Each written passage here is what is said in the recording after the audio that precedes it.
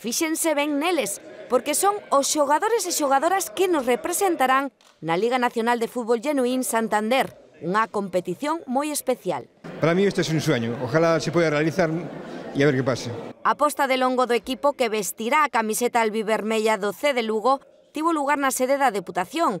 A iniciativa incluese no contrato de patrocinio que mantén o organismo provincial co Club Lucense, para facer do deporte o mellor trampolín de valores e integración. O 17 de novembro teremos un novo máis expoñente do valor do deporte na provincia de Lugo e evidentemente levará con el o selo, o carimbo, o mimbre, o timbre da Deputación de Lugo porque estamos comprometidos coas persoas. O presidente dos Albi Vermellos agradeceu ás asociacións e institucións o seu apoio e dixo vivir un dos días máis importantes do club. Aquí non tenemos a, a Messi del Barcelona, non tenemos a Sergio Ramos del Madrid, pero tenemos a Álvaro del Nastic, tenemos a, a Carlos del Club Deportivo Lugo, y la verdad que son los verdaderos protagonistas y los que van a hacer de este proyecto bueno, pues un proyecto ilusionante. Unha ilusión que comezou coa formación do conxunto composto por 32 xogadores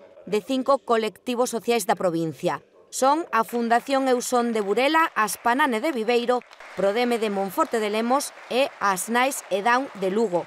Para os nosos colectivos, os cuales traballamos incansablemente pola plena inclusión, este proxecto mm, satisfácenos, pero muchísimo.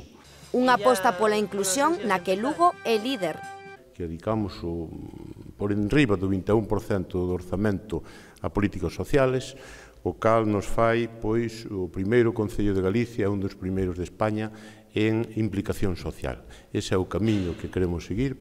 Durante a presentación, o club amosou o vídeo do primeiro adestramento no campo de Arraigosa de Friol, que servirá de presentación do equipo nesta liga, unha competición que naceu o pasado ano e que nesta nova tempada pasa de 18 a 30 clubs participantes.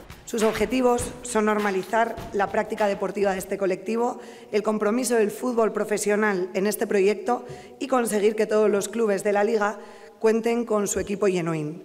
O novo conxunto debutará o próximo 17 de novembro en Tarragona, onde se irán a gañar. Vamos por todas, si, si ganamos bien, si no, pues es un juego, nada más. Ainda que o mellor trofeo é a ilusión nas súas caras. Desexámoslles moita sorte e a por goles campións.